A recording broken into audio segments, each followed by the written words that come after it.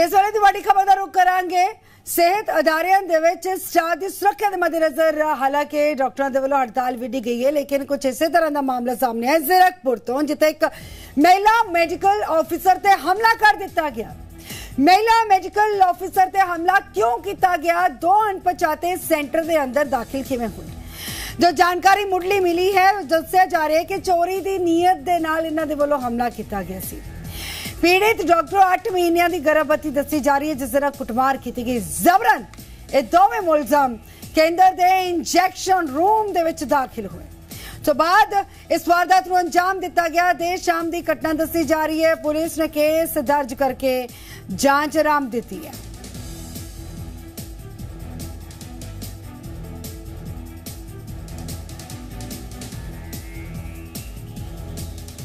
ਤੇ ਇੱਕ ਫਿਰ ਤੋਂ ਦੱਸ ਦਈਏ ਕਿ ਮਹਿਲਾ ਸਟਾਫ ਤੇ ਹਮਲਾ ਕਰ ਦੇਣ ਦੀ ਜੋ ਖਬਰ ਸਾਹਮਣੇ ਆਈ ਹੈ ਦਰਅਸਲ ਸਰਕਾਰੀ ਸਿਹਤ ਕੇਂਦਰ ਦੇ ਵਿੱਚ ਦੋ ਵਿਅਕਤੀਆਂ ਨੇ ਇੱਕ ਗਰਭਵਤੀ ਡਾਕਟਰ ਤੇ ਹਮਲਾ ਕੀਤਾ Punjab protection of medicare service persons and medicare service institute act 2008 ਦਾ ਹਵਾਲਾ ਦਿੰਦੇ ਹੋਏ ਡਾਕਟਰ ਪ੍ਰਭਜੋਤ ਕੌਰ ਨੇ ਦੱਸਿਆ ਕਿ ਦੋਸ਼ੀਆਂ ਦੇ ਖਿਲਾਫ ਸਖਤ ਕਾਰਵਾਈ ਦੀ ਮੰਗ ਕੀਤੀ ਜਾ ਰਹੀ ਹੈ ਸੀਐਚਸੀ ਟੋਕਰੀ ਵਿਖੇ ਤੈਨਾਤ 8 ਮਹੀਨਿਆਂ ਦੀ ਗਰਭਵਤੀ ਮੈਡੀਕਲ ਮਹਿਲਾ ਆਫੀਸਰ ਮਹਿਲਾ ਡਾਕਟਰ ਪ੍ਰਭਜੋਤ ਕੌਰ ਜਿਸ ਦਾ ਨਾਮ ਦੱਸਿਆ ਜਾ ਰਿਹਾ ਇਸ ਤੇ ਹਮਲਾ ਹੋਣ ਦੀ ਖਬਰ ਸਾਹਮਣੇ ਆਈ ਹੈ। ਦੋ ਅਣਪਛਾਤੇ ਵਿਅਕਤੀਆਂ ਦੇ ਵੱਲੋਂ ਹਮਲਾ ਕੀਤਾ ਗਿਆ। ਮੈਡੀਕਲ ਸੈਂਟਰ ਦੇ ਵਿੱਚ ਚੋਰੀ ਦੇ ਦੌਰਾਨ ਇਸ ਡਾਕਟਰ ਤੇ ਹਮਲਾ ਕੀਤਾ ਗਿਆ। ਇਹ ਘਟਨਾ 8 ਦਸੰਬਰ ਦੀ ਦੱਸੀ ਜਾ ਰਹੀ ਹੈ। ਸ਼ਾਮ ਦੇ ਵਕਤ ਇਸ ਵਾਰਦਾਤ ਨੂੰ ਅੰਜਾਮ ਦਿੱਤਾ ਗਿਆ। ਟੀਵੀ ਸਕਰੀਨ ਤੇ ਦੇਖੋ ਤਸਵੀਰਾਂ ਸੀਸੀਟੀਵੀ ਫੁਟੇਜ ਵੀ ਸਾਹਮਣੇ ਆਈ ਹੈ। ਦੋ ਸ਼ੱਕੀ ਵਿਅਕਤੀ ਜ਼ਬਰਦਸਤੀ ਸੈਂਟਰ ਦੇ ਇੰਜੈਕਸ਼ਨ ਰੂਮ ਦੇ ਵਿੱਚ ਦਾਖਲ ਹੋ ਜਾਂਦੇ ਨੇ। ਟੀਕੇ ਤੇ ਸਰਿੰਜਾਂ ਚੋਰੀ ਕਰ ਲੀਆਂ ਗਈਆਂ ਉਹਨਾਂ ਦੇ ਵੱਲੋਂ। ਟੀਕੇ ਤੇ ਸਰਿੰਜਾਂ ਚੋਰੀ ਕੀਤੀਆਂ ਗਈਆਂ ਨੇ। ਜਦੋਂ ਇਸ ਮਹਿਲਾ ਡਾਕਟਰ ਦੇ ਵੱਲੋਂ ਵਿਰੋਧ ਕੀਤਾ ਗਿਆ, ਇਹਨਾਂ ਨੂੰ ਰੋਕਣ ਦੀ ਕੋਸ਼ਿਸ਼ ਕੀਤੀ ਗਈ ਤਾਂ ਧੱਕਾ ਦੇ ਦਿੱਤਾ ਗਿਆ ਉਸ ਨੂੰ ਹੇਠਾਂ ਸੁੱਟ ਦਿੱਤਾ ਗਿਆ। ਮੌਕੇ ਤੋਂ ਫਰਾਰ ਹੋ ਗਏ। ਮਾਨਸਿਕ ਤੌਰ ਤੇ ਦੁਖੀ ਡਾਕਟਰ ਕੌਰ ਨੇ ਆਪਣੀ ਸੁਰੱਖਿਆ ਦੇ ਪ੍ਰਤੀ ਚਿੰਤਾ ਹੁਣ ਪ੍ਰਗਟ ਕੀਤੀ ਹੈ ਔਰ ਸੰਸਾਗਤ ਐਫ ਆਈ ਆਰ ਦਰਜ ਕਰਨ ਤੇ ਕੇਂਦਰ ਦੇ ਵਿੱਚ 24 ਘੰਟੇ ਸੁਰੱਖਿਆ ਮੁਹੱਈਆ ਕਰਾਉਣ ਦੀ ਮੰਗ ਕੀਤੀ ਜਾ ਰਹੀ ਹੈ। ਫਿਲਹਾਲ ਸੀਸੀਟੀਵੀ ਫੁਟੇਜ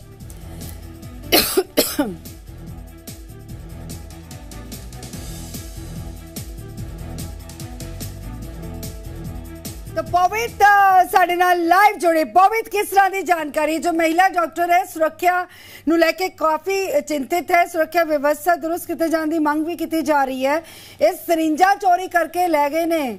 ਇਹ ਇਹ ਜੋ ਦੋ ਅਣਪਛਾਤੇ ਵਿਅਕਤੀ ਆਏ ਨੇ, ਸਰਿੰਜਾ ਚੋਰੀ ਕਰ ਗਏ ਨੇ, ਟੀਕੇ ਚੋਰੀ ਕਰ ਗਏ ਨੇ। ਜ਼ਾਹਿਰ ਜੀ ਗੱਲ ਹੈ ਕਿ ਨਸ਼ਿਆਂ ਦੇ ਆਦੀ ਹੋਣਗੇ, ਜਿਸ ਦੇ ਕਰਕੇ ਸਰਿੰਜਾ ਤੇ ਟੀਕੇ ਚੋਰੀ ਕੀਤੇ ਗਏ ਨੇ। ਕੀ ਪੁਲਿਸ ਤਫਤੀਸ਼ ਕਹਿੰਦੀ ਹੈ? ਜੀ ਬਿਲਕੁਲ ਗਗਨ, ਦੇਖੋ ਕੱਲ ਸ਼ਾਮ ਦੀ ਜੋ ਹੈ ਘਟਨਾ ਦੱਸੀ ਜਾ ਰਹੀ ਹੈ। ਕੱਲ 7 ਵਜੇ ਦੇ ਕਰੀਬ ਸੀਐਚਸੀ ਡਕੋਲੀ ਦੇ ਵਿੱਚ ਜੋ ਹਾਦਸਾ ਆਇਆ ਹੋਇਆ ਹੈ। ਤੁਹਾਨੂੰ ਦੱਸ ਦਈਏ ਕਿ ਜੋ ਮੈਡੀਕਲ ਆਫੀਸਰ ਉਸ ਟਾਈਮ ਇੰਜੈਕਸ਼ਨ ਰੂਮ ਦੇ ਵਿੱਚ ਸੀਗੇ, ਜਦੋਂ ਦੋ ਅਣਪਛਾਤੇ ਵਿਅਕਤੀ ਜਿਹੜੇ ਨੇ ਅੰਦਰ ਵੜੇ, ਉਹਨਾਂ ਨੂੰ ਧੱਕਾ ਦਿੱਤਾ ਡਾਕਟਰ ਨੂੰ। ਉਸ ਤੋਂ ਬਾਅਦ ਜੋ ਸ਼੍ਰਿੰਤ ਇੰਜੈਕਸ਼ਨ ਸੀਗੇ, ਉਹ ਲੈ ਕੇ ਫਰਾਰ ਹੋ ਗਏ। ਜਿੱਥੇ ਅਸੀਂ ਗੱਲ ਕਰਦੇ ਹਾਂ, ਇੱਕ ਪਾਸੇ ਲਗਾਤਾਰ ਜੋ ਡਾਕਟਰਸ ਨੇ, ਉਹ ਆਪਣੇ ਮੰਗਾਂ ਦੀ ਜੋ ਮੰਗ ਕਰ ਰਹੇ ਨੇ, ਅੱਜ ਜਿਸ ਤਰੀਕੇ ਦੇ ਨਾਲ ਜੋ ਸਿਕਿਉਰਿਟੀ ਦੀ ਗੱਲ ਵੀ ਹੋ ਰਹੀ ਹੈ ਡਾਕਟਰਸ ਦਾ ਇਹੀ ਕਹਿਣਾ ਹੈ ਕਿ ਅਸੀਂ ਸਿਕਿਉਰਿਟੀ ਕਵਰ ਮੰਗਦੇ ਹਾਂ ਹਸਪੀਟਲਸ ਦੇ ਵਿੱਚ, ਕਿਉਂਕਿ ਲਗਾਤਾਰ ਡਾਕਟਰਸ ਦੇ ਨਾਲ ਜੋ ਇਹ ਜਿਹੇ ਹਾਦਸੇ ਨੇ ਉਹ ਕਿਤੇ ਨਾ ਕਿਤੇ ਵੱਧਦੇ ਹੋਏ ਨਜ਼ਰ ਆ ਰਹੇ ਨੇ। ਜ਼ਿਕਰ ਕਿ ਅਗਰ ਅਸੀਂ ਗੱਲ ਕਰੀਏ ਕੱਲ ਸ਼ਾਮ ਨੂੰ ਜੋ ਡਾਕਟਰ ਪ੍ਰਭਜੋਤ ਕੌਰ ਦੇ ਨਾਲ ਜੋ ਹਾਦਸਾ ਹੋਇਆ ਜੋ ਕਿ 8 ਜੋ 8 ਮਹੀਨੇ ਦੇ ਗਰਭਵਤੀ ਨੇ ਉਹਨਾਂ ਨੇ ਇਹੀ ਕਿਹਾ ਕਿ ਇਹ ਜੋ ਇਸ ਪੂਰਾ ਇਨਸੀਡੈਂਸ ਹੈ ਇਹਨੇ ਮੈਨੂੰ ਕਿਤੇ ਨਾ ਕਿਤੇ ਟਰਾਮਾਟਾਈਜ਼ ਕਰਤਾ ਹੈ ਤੇ ਮੈਂ ਆਪਣੇ ਹੀ ਵਰਕ ਪਲੇਸ ਦੇ ਵਿੱਚ ਜੋ ਹੈ ਸੇਫ ਤੇ ਸਿਕਿਉਰ ਫੀਲ ਨਹੀਂ ਕਰ ਰਹੀ। ਤੇ ਬਹੁਤ ਵੱਡਾ ਸਵਾਲ ਇਹ ਨਿਸ਼ਾਨ ਜਿਹੜਾ ਹੈ ਪੈਦਾ ਕਰਦਾ ਹੈ ਕਿ ਕਿਸ ਤਰੀਕੇ ਦੇ ਨਾਲ ਇੱਕ ਜੋ ਡਾਕਟਰ ਜੋ ਲੋਕਾਂ ਦੀ ਜਾਨ ਬਚਾਉਂਦਾ ਹੈ ਹੁਣ ਉਹਦੀ ਹੀ ਜਾਨ ਜੋ ਹੈ ਖਤਰੇ ਦੇ ਵਿੱਚ ਲਗਾਤਾਰ ਜੋ ਹੈ ਉਹ ਬਣਦੀ ਹੋਈ ਨਜ਼ਰ ਆ ਰਹੀ ਹੈ ਜਿਹਦੇ ਕਰਕੇ ਜੋ ਕੱਲ ਕੰਪਲੇਨ ਦੀ ਜੋ ਐਫ ਆਈ ਆਰ ਵੀ ਲਾਂਚ ਕੀਤੀ ਗਈ ਹੈ ਤੇ ਉੱਥੇ ਦੂਜੇ ਪਾਸੇ ਪੁਲਿਸ ਦਾ ਵੀ ਇਹੀ ਕਹਿਣਾ ਹੈ ਕਿ ਉਹ ਲਗਾਤਾਰ ਜੋ ਫੁਟੇਜ ਨੇ ਉਹ ਦੇਖ ਰਹੇ ਨੇ ਕਿ ਲਗਾਤਾਰ ਜੋ ਤਬਦੀਸ਼ ਹੈ ਮਾਮਲੇ ਦੀ ਉਹ ਲਗਾਤਾਰ ਜਾਰੀ ਹੈ ਕਿ ਕੀ ਕੁਝ ਕਿੱਥੋਂ ਦੇ ਵਿਅਕਤੀ ਸੀ ਕੌਣ ਵਿਅਕਤੀ ਸੀ ਸ਼ਰਿੰਜਾ ਕਿਉਂ ਚੋਰੀ ਕੀਤੀਆਂ ਨੇ? ਲਗਾਤਾਰ ਜੋ ਤੁਸੀਂ ਵੀ ਗੱਲ ਜੋ ਗੱਲ ਮੈਂਸ਼ਨ ਕੀਤੀ ਸੀ ਕਿ ਹੋ ਸਕਦਾ ਹੈ ਕਿ ਉਹ ਨਸ਼ੇ ਦੇ ਆਦੀ ਹੋਣ ਤੇ ਉਸ ਕਰਕੇ ਹੀ ਜੋ ਸ਼ਰਿੰਜਾ ਉਹ ਚੋਰੀ ਕਰਕੇ ਲੈ ਕੇ ਗਏ ਨੇ ਇੰਜੈਕਸ਼ਨ ਜੋ ਚੋਰੀ ਕਰਕੇ ਲੈ ਕੇ ਗਏ ਨੇ ਉਹੀ ਸਭ ਤੋਂ ਵੱਡਾ ਕਾਰਨ ਹੋ ਸਕਦਾ ਕਿ ਨਸ਼ਿਆਂ ਦੇ ਆਦੀ ਹੋਣ ਦੇ ਕਰਕੇ ਹੀ ਉਹਨਾਂ ਨੇ ਇਹੋ ਜਿਹਾ ਕਦਮ ਚੁੱਕਿਆ ਪਰ ਦੂਜੇ ਪਾਸੇ ਜਿੱਥੇ ਅਸੀਂ ਗੱਲ ਕਰਦੇ ਹਾਂ, ਸ਼ਾਮ ਦੇ ਵਕਤ 7 ਵਜੇ ਦੇ ਕਰੀਬ ਦੀ ਘਟਨਾ ਦੱਸੀ ਜਾ ਰਹੀ ਹੈ ਸੀਐਚਸੀ ਡਕੋਲੀ ਦੇ ਵਿੱਚ। ਤੇ ਉਹੀ ਚੀਜ਼ ਜੋ ਸਾਹਮਣੇ ਬਾਰ-ਬਾਰ ਨਿਕਲ ਕੇ ਆਉਂਦੀ ਹੈ ਕਿ ਕਿੰਨਾ ਕੁ ਸੇਫ ਇੱਕ ਵਿਅਕਤੀ ਜੋ ਹੈ ਸਪੈਸ਼ਲੀ ਅਗਰ ਅਸੀਂ ਗੱਲ ਕਰੀਏ ਹੈਲਥ ਕੇਅਰ ਵਰਕਰਸ ਦੀ ਉਹ ਕਿੰਨਾ ਕੁ ਸੇਫ ਜੋ ਹੈ ਇੱਕ এনवायरमेंट ਦੇ ਵਿੱਚ ਆਪਣੇ ਵਰਕਪਲੇਸ ਦੇ ਵਿੱਚ ਜੋ ਫੀਲ ਕਰਦੇ ਨੇ ਕਿਉਂਕਿ ਕਿਤੇ ਨਾ ਕਿਤੇ ਡਾਕਟਰ ਪ੍ਰਭਜੋਤ ਨੇ ਜੋ ਕੰਪਲੇਨ ਰਿਟਨ ਕੰਪਲੇਨ ਜੋ ਹੈ ਪੁਲਿਸ ਨੂੰ ਦਿੱਤੀ ਹੈ ਉਹਦੇ ਵਿੱਚ ਉਹਨਾਂ ਨੇ ਸਾਫ਼ ਤਰੀਕੇ ਦੇ ਨਾਲ ਇਹ ਚੀਜ਼ ਲਿਖੀ ਕਿ ਉਹ ਬਹੁਤ ਜ਼ਿਆਦਾ ਸ਼ੌਕ ਦੇ ਵਿੱਚ ਨੇ ਤੇ ਉਹ ਆਪਣੇ ਹੀ ਜੋ ਕੰਮ ਦੀ ਜਗ੍ਹਾ ਹੈ ਵਰਕਪਲੇਸ ਹੈ ਉਹਦੇ ਵਿੱਚ ਹੀ ਸੇਫ ਲੇਕਿਨ ਪੁਲਿਸ ਦੇ ਵੱਲੋਂ ਹੁਣ ਤੱਕ ਕਾਰਵਾਈ ਕੀਤੀ ਗਈ ਹੈ ਹੈ ਇਹ ਲੋਕ ਕਿਵੇਂ ਇਸ ਸਿਹਤ ਕੇਂਦਰ ਦੇ ਅੰਦਰ ਦਾਖਲ ਹੋ ਗਏ ਕੋਈ ਸਿਕਿਉਰਿਟੀ ਗਾਰਡ ਜਿਸਨੇ ਰੋਕਿਆ ਨਹੀਂ नहीं है की बहाना लगा के अंदर बढ़े और सीसीटीवी फुटेज भी उन सामने आई है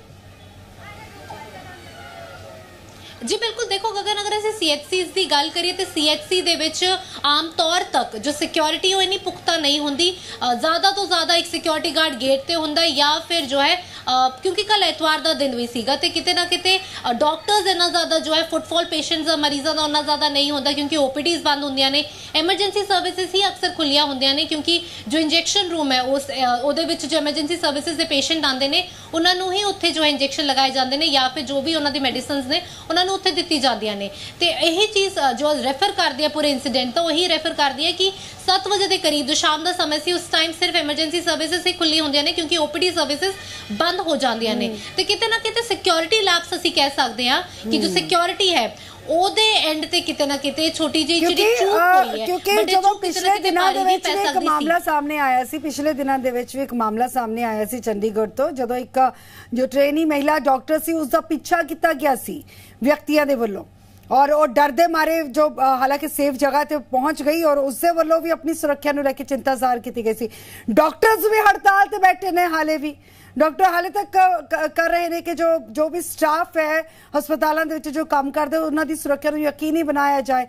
ਔਰ ਲਗਾਤਾਰ ਇਸ ਤਰ੍ਹਾਂ ਦੇ ਮਾਮਲੇ ਸਾਹਮਣੇ ਆਉਂਦੇ ਨੇ। ਪੰਜਾਬ ਸਰਕਾਰ ਦੇ ਵੱਲੋਂ ਵੱਖਰੇ ਤੌਰ ਤੇ ਦਾਅਵੇ ਕੀਤੇ ਜਾਂਦੇ ਨੇ ਸੁਰੱਖਿਆ ਦੇ ਮੱਦੇਨਜ਼ਰ। ਲੇਕਿਨ ਫਿਲਹਾਲ ਅ, ਨਿਲ ਬਟਾ ਜ਼ੀਰੋ ਹੈ ਸਭ ਕੁਝ ਅਗਰ ਪ੍ਰਬੰਧਾਂ ਦੀ ਗੱਲ ਕੀਤੀ ਜਾਏ।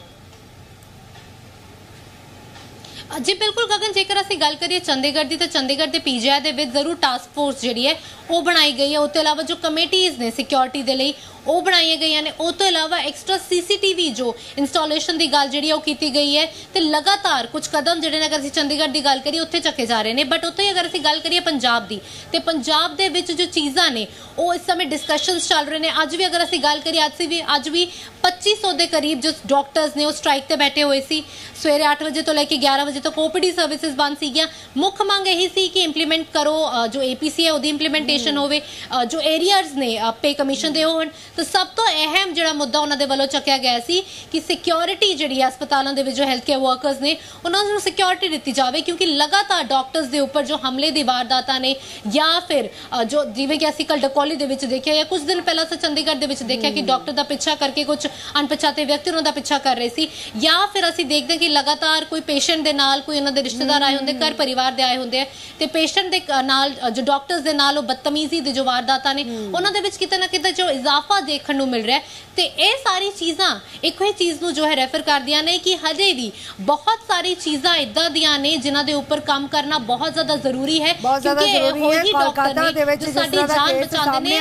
ਜੀ। ਕੋਲਕਾਤਾ ਦੇ ਵਿੱਚ ਰੇਪ ਤੇ ਕਤਲ ਮਾਮਲਾ ਸਾਹਮਣੇ ਆਉਣ ਤੋਂ ਬਾਅਦ ਜੋ ਮਹਿਲਾ ਸਟਾਫ ਹੈ ਵੱਖ ਵੱਖ ਸਿਹਤ ਅਦਾਰਿਆਂ ਦੇ ਵਿੱਚ ਜੋ ਕੰਮ ਕਰਦਾ ਹੈ ਔਰ ਜਿਸ ਤਰ੍ਹਾਂ ਦੀਆਂ ਹੁਣ ਘਟਨਾਵਾਂ ਵਾਪਰਦੀਆਂ ਨੇ ਮਤਲਬ ਇੱਕ ਤਾਂ ਆਲਰੇਡੀ ਬਹੁਤ ਜ਼ਿਆਦਾ ਖੌਫ ਉਹਨਾਂ ਦੇ ਅੰਦਰ ਕਿ ਵਰਕ ਪਲੇਸ ਸੇ ਕਦੇ ਵੀ ਕੁਝ ਵੀ ਹੋ ਸਕਦਾ ਹੈ ਉਹਨਾਂ ਦੇ ਨਾਲ ਔਰ ਜਿਸ ਕਿਸੇ ਦੇ ਨਾਲ ਇਸ ਤਰ੍ਹਾਂ ਹੋ ਵੀ ਜਾਂਦਾ ਤਾਂ ਜ਼ਾਹਿਰ ਜੀ ਗੱਲ ਹੈ ਕਿ ਇੱਕ ਟਰਾਮਾ ਵਾਲੀ ਸਥਿਤੀ ਹੋ ਜਾਂਦੀ ਹੈ। ਬਹੁਤ ਬਹੁਤ ਸ਼ੁਕਰੀਆ ਫਿਲਹਾਲ ਤੱਕ ਦੀ ਜਾਣਕਾਰੀ ਦੇ ਲਈ, ਜਾਣਕਾਰੀ ਅਸੀਂ ਤੁਹਾਡੇ ਕੋਲੋਂ ਲੈਂਦੇ ਰਹਾਂਗੇ। ਫਿਲਹਾਲ